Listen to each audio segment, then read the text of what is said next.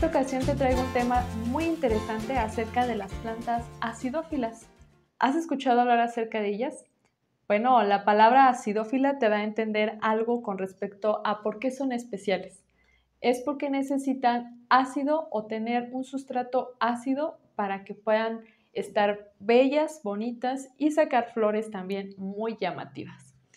¿Qué hay en cuanto a las plantas acidófilas? Bueno, quizás has escuchado hablar acerca del pH, que es la medida que podemos tener con respecto a lo ácido y lo alcalino o básico. Bien, las plantas en su gran mayoría necesitan que tanto el agua como su sustrato sean ligeramente ácidos. Sin embargo, se acerca mucho a lo neutro, que vendría siendo el número 7. Lo ácido representa al número 0 y lo alcalino va hacia el número 14. Eso quiere decir que el 7 es un pH neutro. En cuanto al suelo, el sustrato o el agua que a las plantas les gusta mucho, que es el agua de lluvia, tiene aproximadamente una acidez de 5.5 a 6. Eso quiere decir que tira un poco hacia lo ácido, pero está muy en medio de la gráfica, entonces es casi neutral. Sin embargo, el sustrato también necesita tener un pH parecido, entre 5.5, 6, 6.5. Eso es lo normal prácticamente en la mayoría de las plantas. Así es como está el suelo en la naturaleza. Sin embargo, hay suelos más ácidos, es decir, que tienen un ácido incluso menor al 5 o al, porcentaje número 5 en el pH. Esas plantas son las que conocemos como acidófilas, plantas acidófilas, que necesitan un suelo más ácido de lo normal. Tengo aquí una gráfica, si es que veo un poco hacia abajo, pero tengo una gráfica que te explica un poquito. Me gustaría explicarte cómo es este asunto del pH, principalmente en, en las cosas líquidas, para que te hagas una idea más o menos de lo que quiere decir el pH. Por ejemplo, algo que es muy ácido que conocemos, pues es el jugo de limón, ¿verdad? Cuando lo probamos decimos, ay, está muy ácido. Bueno, el jugo de limón tiene un pH aproximado de número 2, es decir, está muy, muy cerca del cero, que vendría siendo lo ácido, sumamente ácido. también tenemos el vinagre, que tiene un pH de 2. Eso quiere decir que si por algo el suelo que tenemos no es lo suficientemente ácido para nuestra planta acidófila, quizás podamos regar o poner un poquito de, este, esta sustancia a nuestro riego. Un poco de jugo de limón, un poquito de vinagre, porcentajes muy chiquitos, ¿eh? tampoco vamos a poner un 50 y 50%. Estamos hablando de un chorrito en un litro de agua. Pero esto va a ayudar a, a hacer ácido el suelo y que nuestra planta, que es acidófila, pueda estar bien. Tenemos también otro ejemplo que es la lluvia limpia. La lluvia limpia es decir, esa lluvia que eh, cae normalmente en las zonas con poca contaminación, es 5.6. Ese es el ácido que tiene esta lluvia y esa agua es perfecta para nuestras plantas. Es la que más, más les gusta para crecer.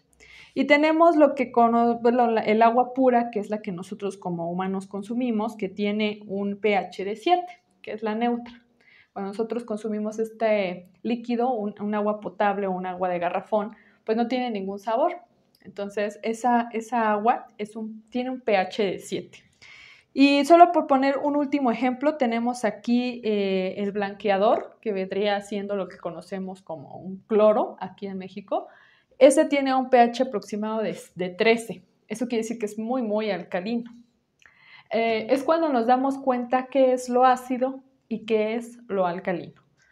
Ahora, en, cuanto a nuestros sustratos, eh, a veces utilizamos sustratos que puedan tener un poco de acidez y eso va a ayudar a nuestras plantas acidófilas que necesitan precisamente esa acidez en el suelo o en el riego.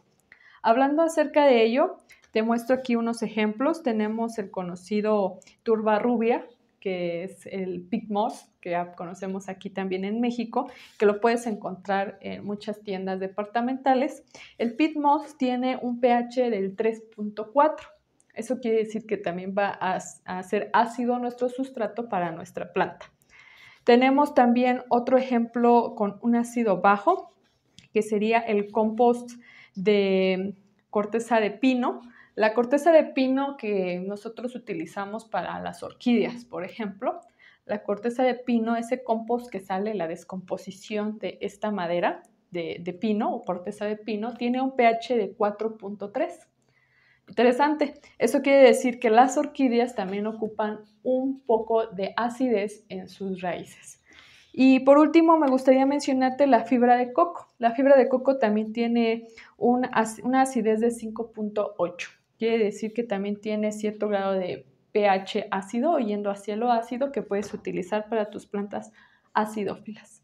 En cuanto al resto de los eh, sustratos que a veces utilizamos, como el humus de lombriz, la perlita, la vermiculita.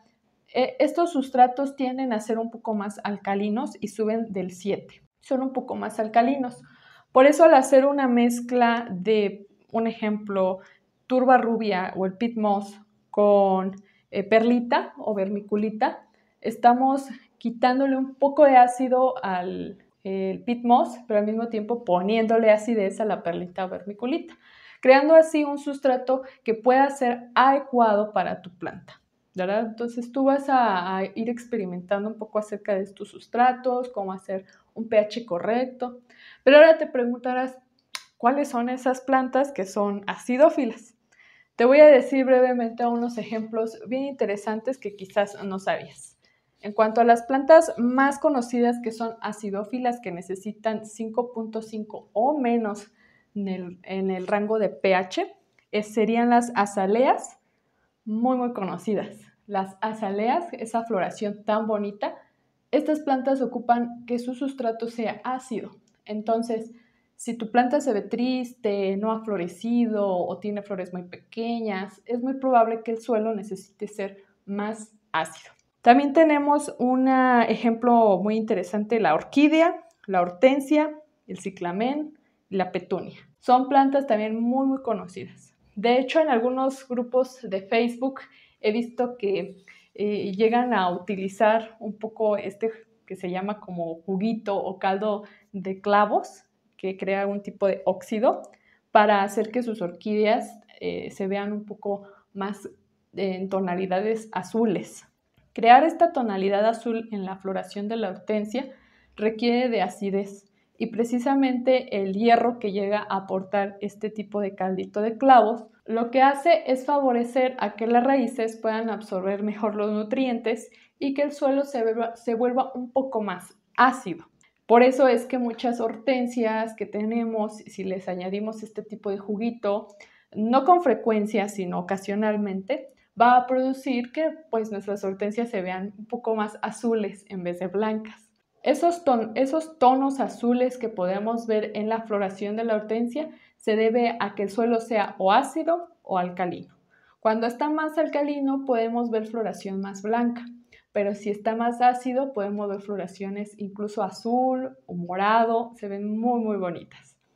Eh, también tenemos el ejemplo de las orquídeas que como te mencionaba ocupan corteza de pino y esta llega a ser un poco ácida. Entonces las raíces eh, de nuestra orquídea están muy cómodas en este tipo de sustrato y tiende a ser un poco ácido. Aproximadamente rondan entre los 5.2 y 5.8 de acidez eh, en cuanto al pH. Y tenemos un ejemplo también muy conocido que son las violetas africanas. Por aquí me traje una que todavía no me ha sacado floración, tiene poco que se terminó la floración, entonces estoy esperando a que saque nuevamente floración. La violeta africana, por ejemplo, y las begonias, que es esta que tengo aquí, también necesitan tener un pH aproximado de 5.5 a 6.4. Esto quiere decir que el sustrato debe estar ligeramente eh, ácido, no, no totalmente ácido como la azalea, por ejemplo, pero sí necesita cierto grado de acidez para que se pueda mantener pues de una manera correcta y que pueda sobrevivir. O como por ejemplo, en el caso de la violeta, para hacer su sustrato yo utilizo pit moss. Eh, no es totalmente 100% pit moss, hago algunas mezclas ahí, pero el pit moss lo que hace es hacer ácido ese sustrato para que la violeta africana se sienta cómoda. De hecho, si tú adquieres eh, tierra especial para violetas africanas, tú notarás que tiene esa esponjosidad el sustrato y normalmente esa esponjosidad se debe o al pit moss o a la fibra de coco. ambas al final ácidas. Y el resto de nuestras plantas requieren un pH mayor al 6, entre el 6 y el 7. Entonces, de ahí en fuera la mayoría de las plantas se mantienen contentas con ese, e, ese rango de pH. Como te darás cuenta, está un poco más inclinado hacia el ácido. Sin embargo, estas plantas acidófilas sí requieren un rango de acidez un poco mayor al resto de las plantas. Entonces, las va a mantener con buena floración, con buen follaje, incluso que nos saquen flores de colores muy llamativos porque es el modo en que ellas en la naturaleza están, con un sustrato ligeramente más ácido de lo normal. Y a estas plantas se les llama plantas acidófilas. Espero que esta información te haya sido útil si es que tienes alguna de estas plantas peculiares y si no también a medir la acidez que probablemente puedas estar dándole a tu planta. No a todas les favorece mucho la acidez.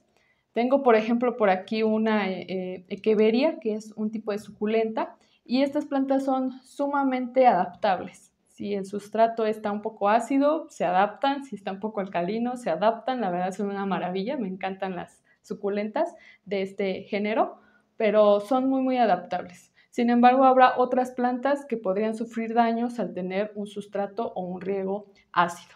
Por eso es importante que pues este dato espero te pueda ser útil para, para ello y sepas qué plantas necesitan un poco más de ácido en su sustrato. Seguimos eh, teniendo nuevos videos aquí en el canal, espero que te puedan ser útiles. Recuerda que puedes vernos en Instagram, en Facebook, donde también posteamos algunos datos interesantes como estos. Y bueno, nos seguimos viendo en los siguientes videos, esperando te puedan ayudar a tener un hermoso jardín en casa. Nos vemos, bye.